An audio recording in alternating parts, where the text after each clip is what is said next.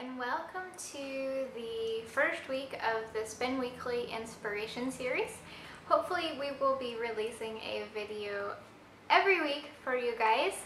Um, but basically the concept of this is I watch a ton of these creative demo videos on YouTube.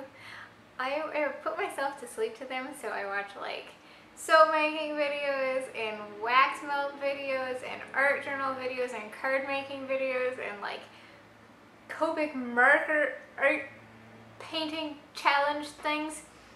I just devour these. And one of my, you know, reasons I haven't been releasing as many videos with demos is I'm like, well, I already did that technique. Or there are already people doing that. I don't want to just release and release and release. And then I thought, like shaker card videos have I watched? How many project life pocket pages that I've watched that are all essentially the same thing, you know?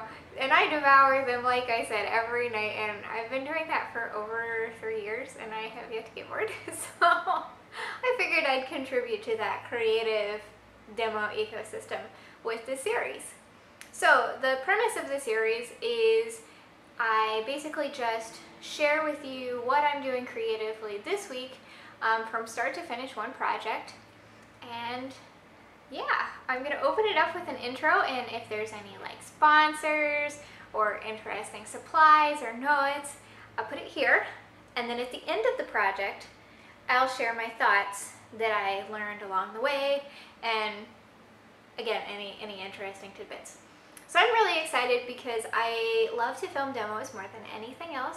Sharing is my happy place and I feel really freed to kind of lift that self-imposed glass ceiling of everybody's already done that, I don't need to do it again. So that's cool. So I feel really enthusiastic about that. Um, I also apologize for the lawnmower that you hear.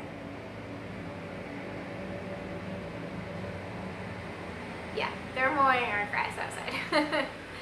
anyway, um, this week I am sharing with you a hand-painted roving tutorial. And I don't usually hand paint, so I figured I'd capture it while it was on my table. And I'm using Dharma Trading Company dyes. Uh, they sent dyes for the book Dye.